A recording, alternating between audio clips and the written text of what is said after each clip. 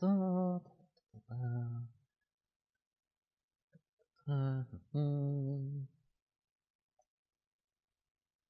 got this whole dragon training thing down. Brother, sit! Yeah, the- yeah. See what I mean? Now to make the s'more, how do you put this on the thing over there?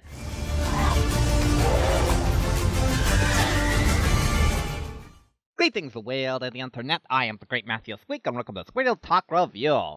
We're having another look at the prior episode today, and it's got brother all excited because we're going back to the realm of Vikings with that spin-off of How to Train Your Dragon that has difficulties picking a name and sticking with it. And since last time we took a look at its first stage of evolution, this time we're going to take a look at its final stage, where DreamWorks officially left the realm of TV networks behind to stake their claim in the land of Netflix. So this is uh, um, uh, something else of Berk.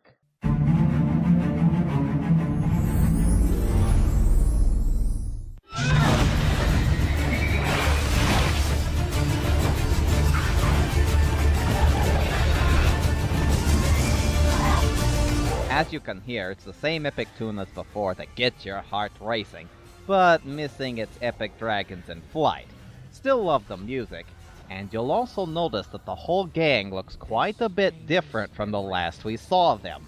So yes, that's right. They officially aged them up to have them look more like their personas from the second movie. And they look great. Really great. Before Hiccup was this unimpressive cloth wearing outcast, which was fitting for the first movie, but here, this is more fitting a look for the fearless leader of the Dragon Riders. DreamWorks has really pulled out all the stops on this show. The character detail looks amazing. You can see the whole face moving as they emote like an actual person. The environments are creative and spectacular, and the dragons are just as impressive as ever. This is why some of the other DreamWorks shows bug me so much. They clearly demonstrate they are capable of producing high quality work, but then they throw out stuff like this. It looks like they just let their five year olds make it. Anyway, this episode starts off with a mysterious dragon and writer brutally attacking a Burr cargo vessel. And when word of the attack reaches the chief, he's none too happy with the dragon riders. Bucket and Mulch saw the whole thing. Mm-hmm. And don't try convincing me that there's anyone else in the archipelago who could pull something like this off. Well, there's only one logical choice of action in this matter. Blame the twins and move on. It was me, Chief. I couldn't control myself. I had to do it. But with all riders accounted for, it's decided that the mysterious dragon rider is indeed mysterious. Rogue Dragon Rider? Not good, not good at all. No, it isn't. It looks like we found ourselves another mystery. So they go to the scene of the crime to attempt to identify the dragon in question.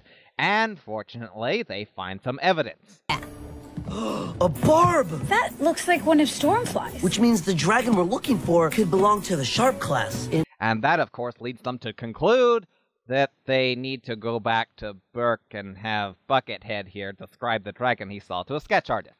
Really, guys? He was standing right here earlier. You didn't think to ask him to describe what he saw? No, it takes you flying all the way out to the middle of nowhere to suddenly think, oh yeah, maybe we ought to ask that eyewitness what he saw. So with the new mystery dragon absent from the Great Big Book of Dragons, like every other dragon they encounter in this show, some great helpful book this turned out to be. You've got one of a kind dragons like Night Furies, but missing things like Typhoomerangs that are all over the freaking place. But thanks to this mysterious dragon eye thingy they've acquired, they eventually discover the dragon in question. Fishlegs, do your thing. Okay, Razor Whip. Sharp class dragon, long spiny barbed tail. How are you reading that? The words are being blocked by your fatness. We got that. Give us something new. You want to do this, Snotlout? Uh, duh, I would. Well, maybe you should try doing what Fishlegs is doing and stand directly in the line of light that you are trying to read. That'll help. So they eventually do get to lead, and off they go in search of the mysterious rider. And wouldn't you know it, they find something. Could be the loot from the ship. And these gashes look familiar. All right, gang, let's split up and search the island for our rogue rider and his razor whip. He can't be far away. Yes, let's do the thing everyone does in every single monster movie ever. Split up so you're easier to pick off one by one. And wouldn't you know it, they start getting picked off one by one. So now Hiccup and Toothless have to square off against the mysterious rider in some epic air-to-air combat. Look out! Toothless, give me all you got! I have you now. And the mysterious rider turns out to be another returning character. Heather?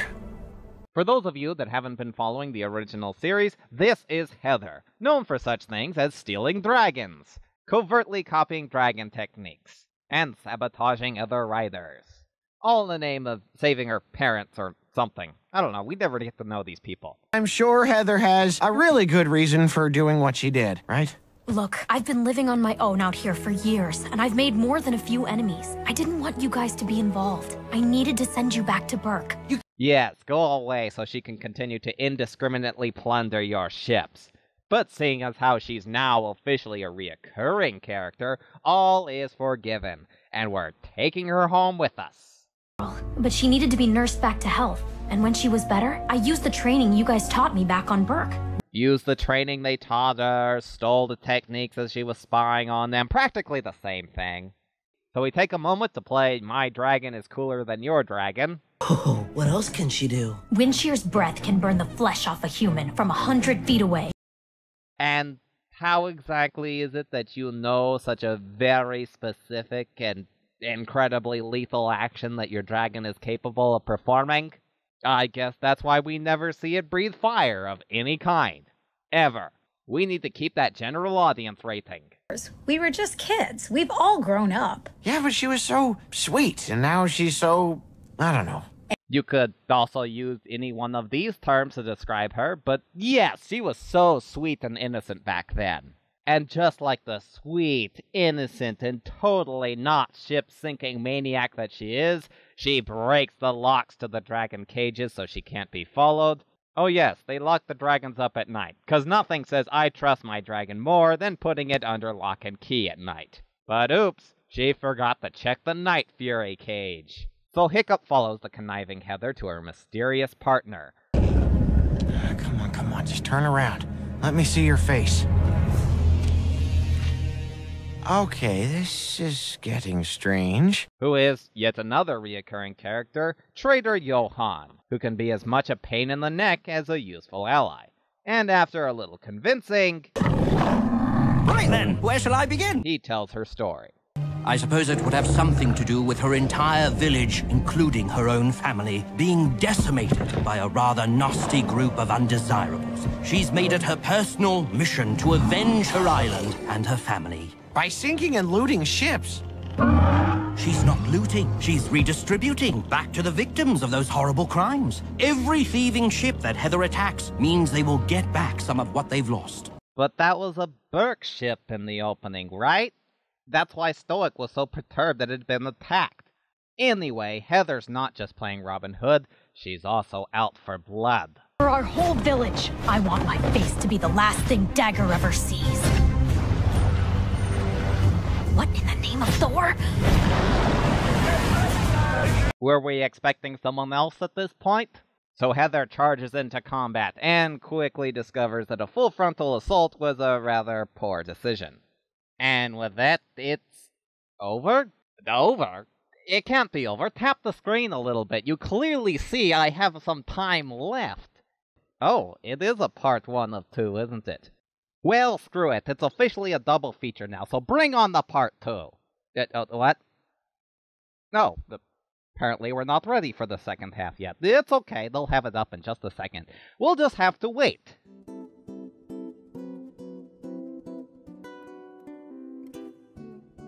So, um, anything you want to talk about? No? No, that's okay.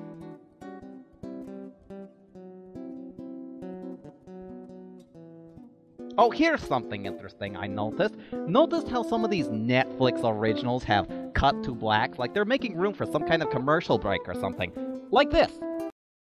Look for them next time you watch one. Why do they even exist? But more importantly, part two is ready. Is it going to be just as exciting fun as the last one? Will Heather survive? Will the twins finally make sense? Will we finally see this incredibly deadly dragon breathe fire? Let's find out.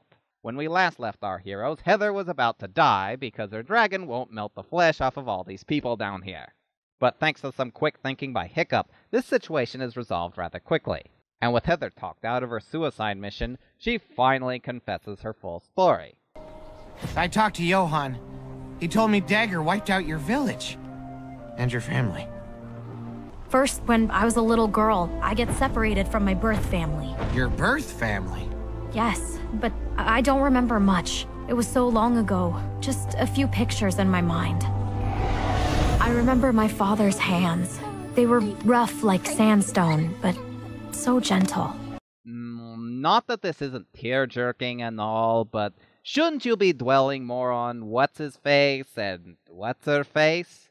You know, the actual people that raised you and were murdered by Dagur? This is the whole reason you're on this vendetta. The adopted parents murdered right in front of you? Screw that! You only care about your real father that you have five seconds of memories of.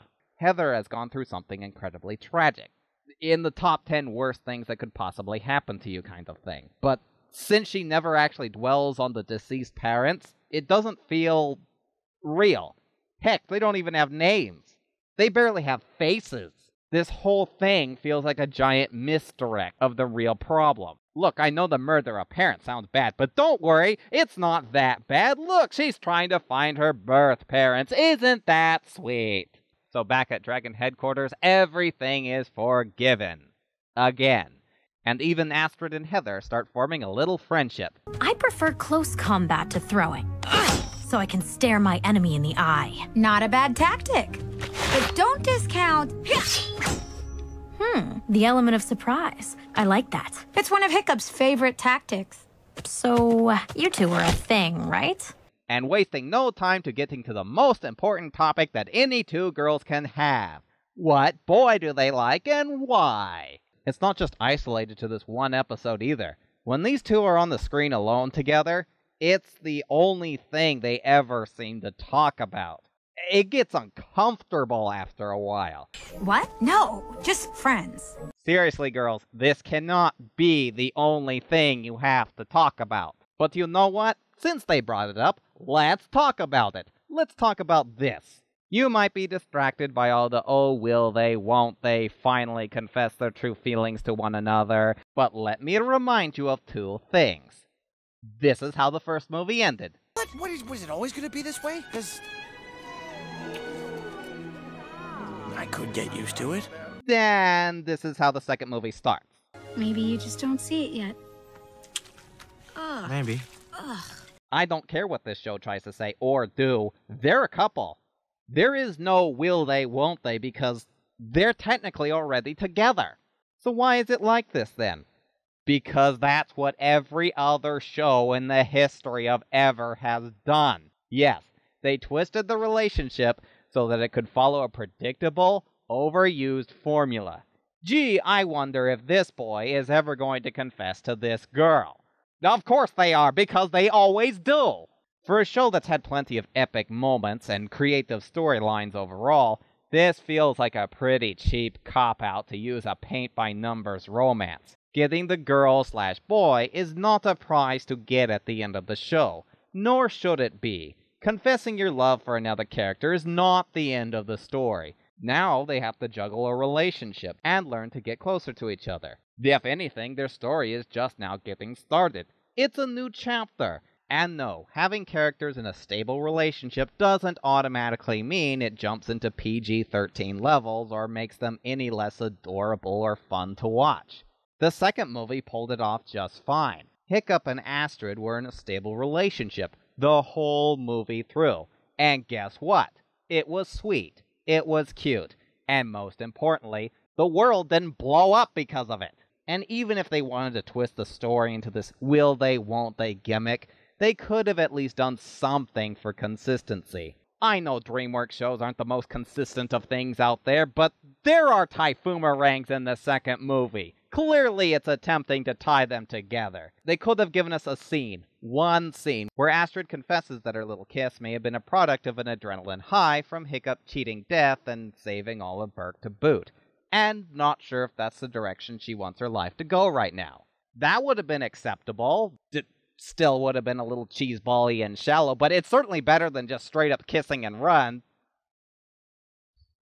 Okay, I'm done. Let's move on. Where were we? I like a little smart, like Fishlegs. Fish legs? Seriously? Move past the boy talk already! Astrid and Heather go find Trader Johann and see what information he's gathered. Dagur is set to purchase a fleet of new ships from a group of salty undesirables in the Sea of Despair. But be wary, these new ships for his armada are outfitted with powerful anti-dragon winches and catapults. After the deal is done, I won't be able to find him again. Dagur will be back in the wind, adrift like a leaf in a stream. Ugh. And I've used my last grapevine, so I won't be able to offer my invaluable yet at times expensive information. Got it. Thanks, Johann. Oh, yeah, I got it all right. I was wondering why he was so passionate about Heather's quest, when he clearly doesn't have much of a side in matters. Expensive information, Heather looting ship. It makes sense now. Redistributing stolen wealth, my foot. Heather's resorted to piracy in order to fund her revenge schemes. And Johann's more than happy to oblige as long as she keeps paying the tab. Gotta go now. Dagur won't be out in the open for long. Wait a minute. You want us to go into battle with Dagur and the Berserkers without Hiccup and Toothless? Dan, everyone is going to overlook this obvious development as they plan their next attack. But it's nice to know that we have a Night Fury when things get hairy. You heard Johann, Astrid. This is our last chance. Tell him. Well, look, Heather. You too? Just forget it. All that stuff about trust and having my back. I guess that was just talk.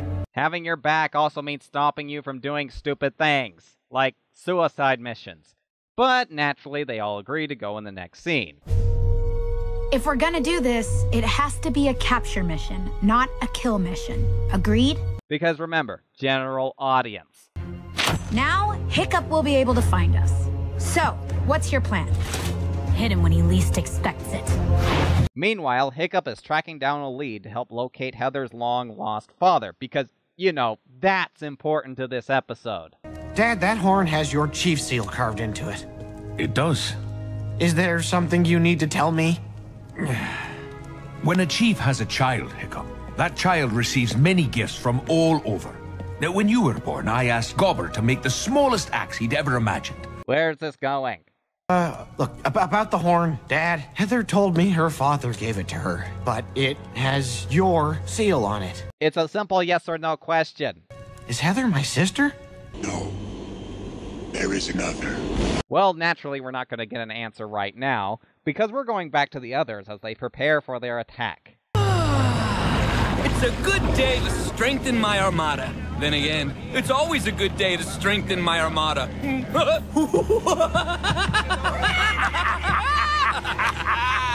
what are you laughing at? Dagur's such a fun enemy, isn't he? He's got the brains and tactics to be a threatening adversary, but he's got just enough screws loose to be as unpredictable as a Looney Tune character.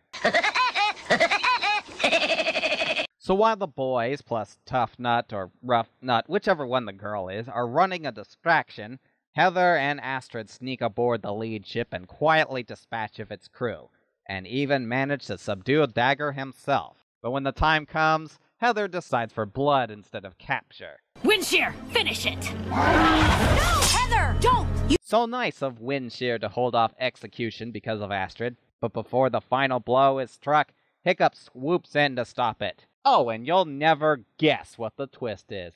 And by that, I mean it's the first thing that pops into your mind. It's the most predictable, obvious twist they could think of. Years ago, Stoick gave this horn to the chief of the Berserker tribe, Oswald the Agreeable, as a gift for his newborn daughter. But- you were that newborn, Heather. Oswald the Agreeable is your father. And he is also Dagur's father. Yep, and even Dagur knows how insane a twist it is. You never disappoint, brother. Or maybe you're actually my, my uncle. Who knows in this crazy world? So now finding out she has blood relations with this psychopath, Heather finds herself incapable of inflicting the killer blow. Can't avenge all your friends and family you lost just because of that three second flashback. So with little other option, they make a hasty retreat. You'll be back, and I will welcome you with open arms! That's also exactly what happens, by the way. So needing time to put her thoughts in order, Heather hits the road, and Hiccup and Astrid have a sweet yet fleeting moment. I'm sorry you're losing a friend. But I still have you. That was the two-parter of Have Dragon Will Travel, and this show is still just as epic as it's always been. Yes, I know I've been complaining a lot about it, but deep down, this show is really well made. It looks amazing. The characters are enjoyable, likable, and the adventures are epic and exciting. This Hiccup Astrid thing may be inconsistent, but that doesn't stop the show from having some touching scenes. And Heather's new brother twist may come right the heck out of nowhere, but it does eventually lead to certain characters' growth and development. If anything, I believe this show is even better than the original incarnation that aired on Cartoon Network. Everyone just looks cooler, more fitting to the heroes of Berk, and building a base out in the frontier was a nice touch in order to get this group out the door and out into the world. Oh, and trust me, its later seasons managed to even outdo themselves time and time again. So if you're a fan of anything related to the How You Train Your Dragon, this is one adventure you definitely don't want to miss. I am the Great Matthias Squeak, and this is Squirrel Talk Review. I thank my loyal subjects for watching. Please like and subscribe to me. Also donate here onto the Patreon account and go out and have us some more. There's some more, you know, the marshmallow thingy. And then have more of them.